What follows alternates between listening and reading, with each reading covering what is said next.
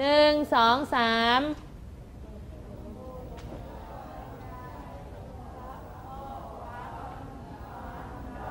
เป็นทำนองสนอค่ะเร็วอันทุกพลชราภาพแล้วขับไล่ไปมี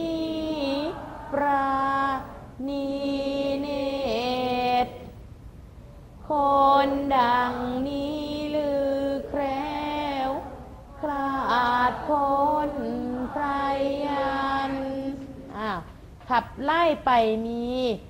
ปลา ปลาตัวนี้มาจากปราณีนไหมคะขับไล่ไปมีปลา มีเนตเมื่อกี้คุณอาจจะเอื้อนผิดนะคะอะบทนี้ดูคำศัพท์ ทุพพลแปลว่าอะไรคะ ทุพพล ทุพพลคือ มีกำลังน้อยอ่อนแอหรือ หรือท้อแท้นะคะ เนต เนตรตัวนี้แปลว่า แปลว่าตานะคะ คลาดพ้นภัยยันยันตัวนี้ก็คืออะไรคะ จนกระทั่งหรือจนถึงภัยตัวนี้ก็คือ ภัยอันตรายอะบทนี้พูดว่าไง คนใดละทั้งเอ่อคนใดละพ่อทั้งมารดา ก็คือคนใดละคืออะไรคะละก็คือละทิ้งไม่สนใจใช่ไหมคะ คนใดที่ทิ้งพ่อ ทิ้งพ่อและแม่ เป็นยังไงทิ้งพ่อแม่ เอาพ่อแม่ไปทิ้งเหรอแปลว่าไงคะ ก็คือการไม่เลี้ยงดูนะคะ ถามว่าคนเราทำไมต้องมีลูก เพื่อสืบเชื้อสายใช่ไหมคะอันดับแรกเลยสืบเชื้อสาย ประการที่สองก็คือยามแก่เฒ่าลูกจะมาลูกจะได้เลี้ยงดู ราะนั้นหน้าที่ลูกเนี่ยไม่ต้องบอกหรอกว่าคุณมีหน้าที่ต้องเลี้ยงพ่อแม่นะ ตรงนี้เกิดขึ้นจากอะไรคะ จิตใต้สำนึกของเราเอง ว่าถ้าพ่อแม่แก่ตัวไปแล้วเนี่ยเราต้องมีหน้าที่ทำไม เลี้ยงดูพ่อแม่นะคะ เรียนเรื่องนี้แล้วจำไว้ด้วยนะคะแล้วปฏิบัติด้วยนะคนที่ละทิ้งพ่อแม่นะคะ อันทุพพลชราภาพแล้วแปลว่าอะไรอ่ายามที่ท่านไม่มีแรงก็คือ ไม่ว่าจะชราอายุคือแก่นะคะจะบอกแก่ก็ต้องบอกว่าชราอ้าวถึงแม้ว่าพ่อจะพ่อแม่จะชราภาพก็คือแก่แล้วนะคะ หรืออ่อนแออาจจะเจ็บป่วยหรืออะไรก็แล้วแต่เนี่ยนะคะ เราก็ต้องดูแลนะคะ ขับไล่ไปมีปราณีเนตรแปลว่าอะไรคะเออขับไล่พ่อแม่โดยที่ไม่มีความปราณีไม่มีความรักความเอ็นดูนะพี่ที่ว่าบอกเอ็นดูเอ็นดูนี่ใช้กรณีไหนเนี่ยเอ็นดูเด็กนะนะเอ็นดูพ่อแม่อ้าวคือไม่รู้แหละใครที่ขับไล่พ่อแม่ นะคะ ไม่รักไม่ดูแลพ่อแม่ คนดังนี้หรือแคล้วคาดพ้นภัยยันแปลว่าอะไรคะ คนพวกนี้ไม่มีวัน ไม่มีวันที่จะพ้นจากพยันอันตรายใดๆทั้งปวงนะคะ เคยได้ยินไหมที่เขาบอกว่าเด็กคนนี้กตัญญูรับรองไปอยู่ที่ไหนทำไมคะ มีแต่คนรัก ตกน้ำไม่ไหล ตกไฟไม่ไหม้แต่คนไหนที่ทำไมคะ ชอบเถียงพ่อแม่ไม่เลี้ยงดูพ่อแม่ คือทำทุกอย่างอะไรกับพ่อแม่ไว้ในทางที่ไม่ดี หรือกับผู้มีพระคุณเนี่ยพวกนี้ย่อมไม่เจริญนะคะอะเพราะฉะนั้นเราทุกคนมีพ่อแม่ไหมควรทำไมอ่ากตัญญูตอบแทนนะคะอ่าบทนี้ก็จะสรุปได้ว่า บุคคลใดที่ไม่เลี้ยงดูบิดามารดาในยามชรานะคะ ย่อมได้รับภัยพิบัติถึงตัวนะคะ นะก็คือ นอกจากไม่เลี้ยงดูแล้วยังขับไล่ใส่ส่งพ่อแม่ออกจากบ้านเนี่ยรับรองนะคะเขาเรียกอะไรอะเวรกรรมติดจรวดใช่ไหมคะนักเรียนไม่ไม่พ้นหรอกนะคะ อยู่ในชาตินี้นี่แหละนะนักเรียนก็ดูตัวเราวะเราดื้อกับพ่อแม่แค่ไหนต่อไปพอมีลูกอะ่ะ ดูซิลูกจะเหมือนเราไหมส่องกระจกย้อนกลับดูตัวเราเอง ว่าเราทำไว้เช่นนั้นหรือเปล่า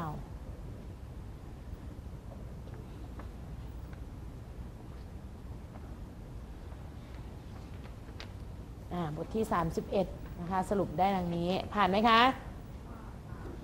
ต่อไปเดี๋ยวบทที่ 32 นะคะ นักเรียนขึ้นพร้อมกันเลยพอครูบอกหนึ่งสองสามปุ๊บก็ขึ้นเลยมาบอกหนึ่งสองสามปุ๊บทางนี้ขึ้นแล้วทางนี้ยังไม่ขึ้น มันก็ไม่พร้อมกันนะ บทที่สามสิบสอง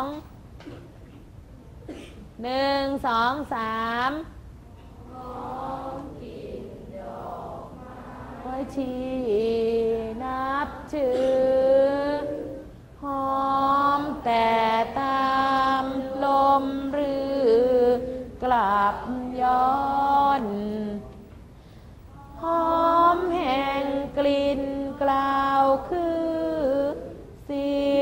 สัตว์นี้นา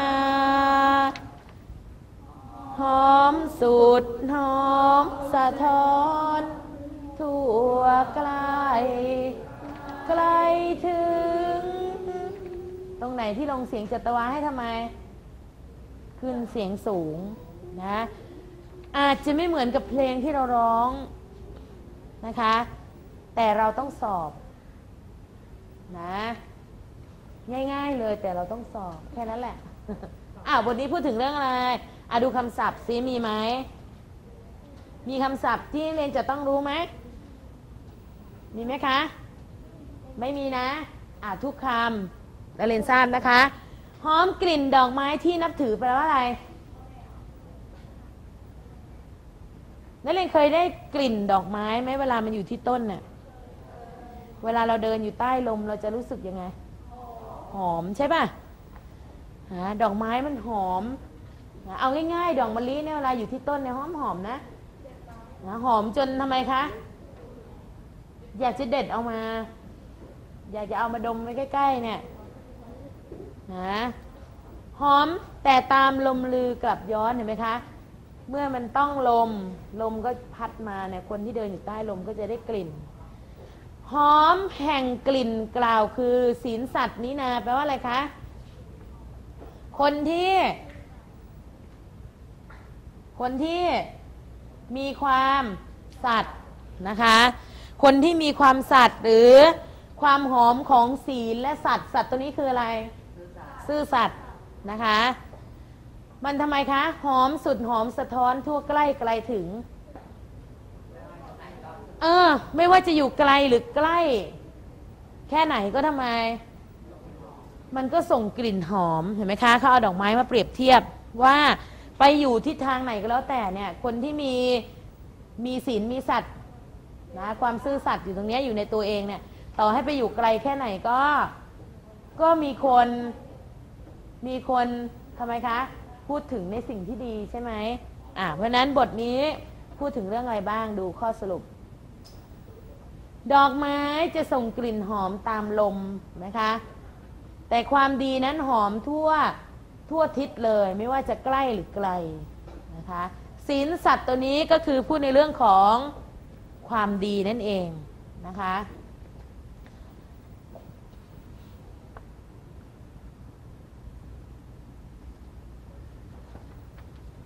นะศีลและสัตว์นะคะก็คือความดี นะคะ จะหอมทั่วทุกทิศเลย ไม่ว่าจะใกล้หรือไกล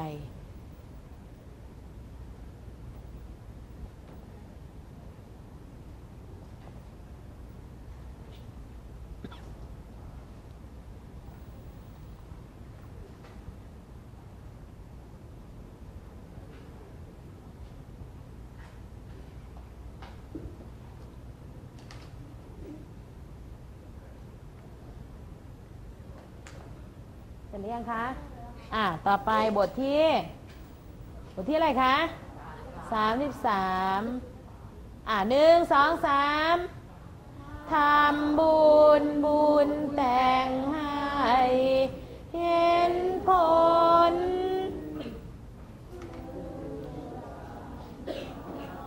ตามตนติดแท้ ผู้ทำสิ่ง ศลกรรมติดตามนา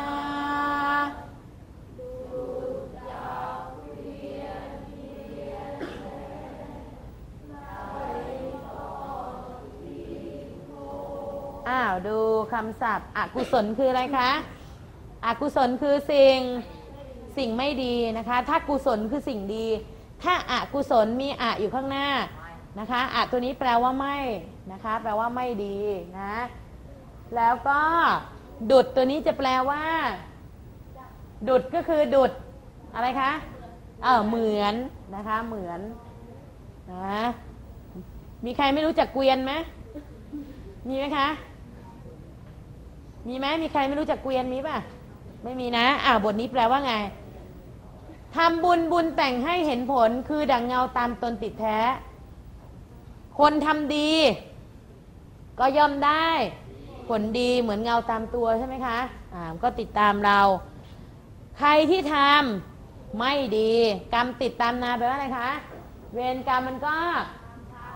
ติดตามตัวดังเงา เช่นเดียวกัน ดุดจากเกวียนเวียนแล้ไล่ต้อนตีนโคแปลว่าอะไรคะ เวรกรรมเนี่ยมันหมุนตาเหมือนกับวัวเทียมเกวียน วัวเดินหน้าเกวียนหรือเกวียนอยู่หน้าอยู่หน้าวัว วัวอยู่ข้างหน้าใช่ไหมคะ วัวมันเดินไปเกวียนมันก็ทำไม มันก็เดินตามเขาก็เปรียบเทียบว่าคนที่ทำไม่ดีเนี่ย ก็เหมือนกับเกวียนที่ทำไมคะอ่ามันตามตามรอยเท้าวัว โคโคก็คือวัวนะคะนะควายคืออะไรอ่ากระบือนะเรียกให้ถูกนะ กระบือคือควาย โคก็คือวัวนะคะอ่าบทนี้ก็สรุปได้ว่าทำดีย่อมได้ผลดีเป็นเงาตามตัว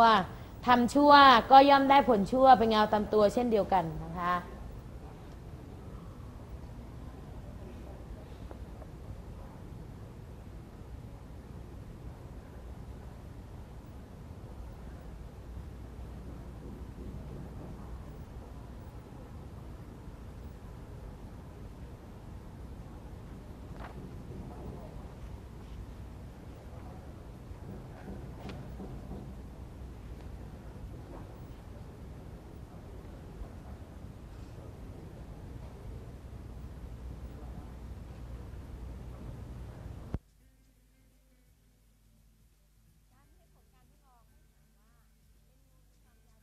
อะต่อไปบทที่สามสิบสี่หนึ่งสองสามมาล้างสิ่งเน่าชะนายหยุด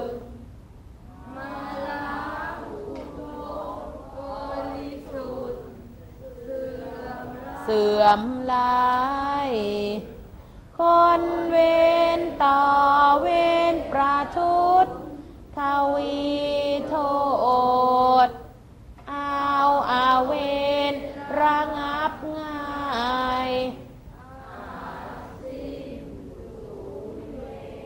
อ่าอะแปลว่าอะไร อ่าดูคำศัพท์ซิมีอะไรบ้าง เน่า เน่าตัวนี้แปลว่าอะไรคะ อืม ของเหม็นของเน่า มาล้างคืออะไร มาล้างก็คือการล้าง การทำลายนะคะ บริสุทธิ์ก็คือ ใสสะอาดนะคะ ประทุษก็แปลว่า ประทุษคืออะไรคะ ชั่วร้ายนะคะ ทวีก็คือเพิ่มเป็นเป็นสองเท่านะคะ ง่ายตัวนี้ก็คือง่ายนะคะศูนย์ตัวนี้แปลว่าอะไรคะศูนย์ก็คือ อ่าหาย อะแปลว่าอะไร น้ำเหม็น มาล้างสิ่งเน่า เอาน้ำที่เหม็นเหม็นมาล้าง สิ่งที่เน่าเนี่ยชะไหนหยุดก็แปลว่าอะไรคะ ไม่หายใช่ปะ ไม่หายเหม็นชะไหนหยุดก็คือไม่หายเหม็นอ่ายิ่งเหม็นทวีคูณใหญ่เลย เพราะฉะนั้นของเหม็นเนี่ยของเหม็นของเน่าเนี่ยจะเอาอะไรมาล้างเท่านั้น จึงจะหมดเออขนาดเอาน้ำบริสุทธิ์ มาล้างนี่ถามว่ามันหายเหม็นไหมมันก็หายนะ อย่างบางอย่างที่เราสามารถล้างออกได้เราขัดแปลงออกหายใช่ไหมคะ แต่ถ้าเกิดเอาน้ำดีไปล้างเนื้อเน่าหายเน่าไหม มันก็ไม่หายมันก็คงเน่าอยู่ข้างในอยู่แล้วใช่ไหมคะแต่ถ้าเกิดนึกถึงตามหลักความเป็นจริงว่า ของที่มันเหม็นๆที่หกตามพื้นตามอะไรถ้าเราเอาน้ำดีล้างก็ทำไมหายเหม็นนะคะ เปรียบเทียบกับคนที่ทำไม คนชั่วร้ายนะคะ พวกคนชั่วร้ายเนี่ยนะคะถามว่าเอาอะไรมาระงับถึงจะหาย คนที่ทำไม่ดี เอาอะไรมางับ เอ่อเอาอะไรมาระงับคะ เราจะระงับคนพวกนี้ได้โดยการให้ ให้อะไร ให้อะไรคะ ถ้าสมมุติว่าสุภวุฒินะคะ สุภวุฒิทำไม่ดีนะคะ ครูก็ว่าสุภวุฒิทุกวันสุภวุฒิหายไหมไม่หายเขาก็ยังเป็นอยู่ใช่ไหมคะเผลอๆจะเป็นมากขึ้นแต่ถามว่า สิ่งสิ่งนี้เราควรที่จะเอาอะไรระงับเขาจึงเขาจึงจะหายตรงนี้ได้ คืออะไรคะ การให้ การให้อะไรเออการให้อภัยนะคะ การให้อภัยเนี่ยจะทำให้สิ่งสิ่งนี้หายไปได้นะคะ เพราะฉะนั้นคนที่ผูกใจอาฆาตคนเนี่ยนะคะ หรือคนที่ทำไม่ดีเนี่ยนะมีสิ่งเดียวเท่านั้นที่จะ ระงับเขาได้ก็คือการให้อภัยนะคะะไปดูบทสรุประงับเวรกรรมด้วยการไม่ก่อเวรกรรมเพิ่มอีกนะคะ ก็คือให้อภัยเขาซะ เขาจะได้ไม่ไปก่อเวรกรรมเพิ่ม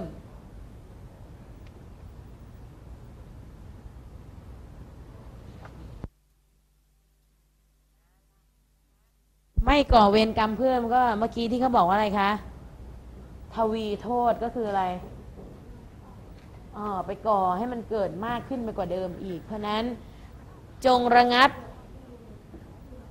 เวรกรรม ด้วยการไม่ก่อเวรกรรมเพิ่มนะคะอะต่อไปบทที่ 35 บทที่ 35 นี่คิดว่าทุกคนคงเคยได้ยินมาบ้างแล้ว เคยได้ยินไหมคะเท่าที่เห็น เคยบ้างแล้วนะคะ